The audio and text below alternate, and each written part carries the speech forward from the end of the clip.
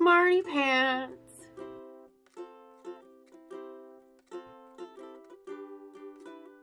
And welcome to the series called Ferreting 101. Like parenting, but for a ferret. Ferrets are highly intelligent and quite easy to train. And like a cat, they know their name and will come when they're called if they feel like it.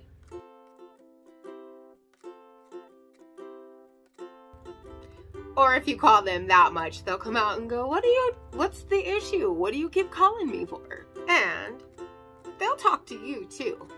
They'll nose at things. If my bug runs out of water, he'll nose at the fridge. And I know his bowl ran out or he wants a freshwater bowl because it's been there for more than 24 hours. Of course, he has multiple bowls throughout the house. Their tails are highly talkative too.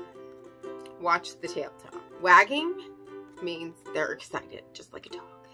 There's really fast wag too, and that's usually when they're super excited and they think you're about to do something. Then there's the tail flicks. There's the flick. There's the flick and float. And then there's the flick up and float down. You'll learn what your fuzzy's tail actually is trying to tell you. Unfortunately, sometimes it means multiple things. It could mean you're playing the game wrong, or I am tired, or that's it, I'm done for the afternoon. They can be trained to do a lot of things, and they will train you to do things as well.